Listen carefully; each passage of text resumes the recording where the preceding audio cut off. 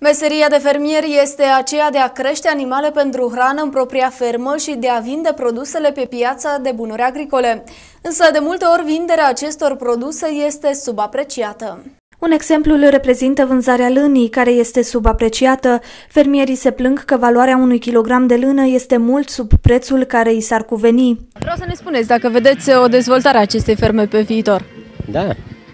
Dacă va merge miei, va merge lâna, va merge toate, s-a dezvoltat. Dacă nu, decât să mergi în pagubă, mai bine le vinzi pe toate. Nu are rost să mergi în pierdere.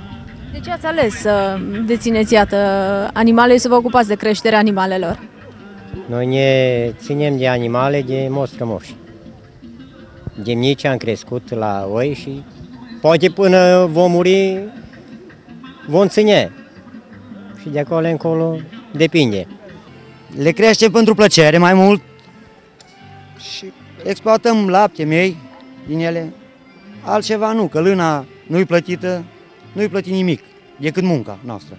Oierii se plâng că nu au cui să vândă lâna sau, dacă găsesc cui să o dea, prețul primit nu le acoperă nici măcar costurile cu tunsul animalelor, așa că nu puțin sunt cei care aleg să nu mai aștepte ajutorul de minimis pentru valorificarea lânii, dându-i foc și eliberând spațiile de depozitare.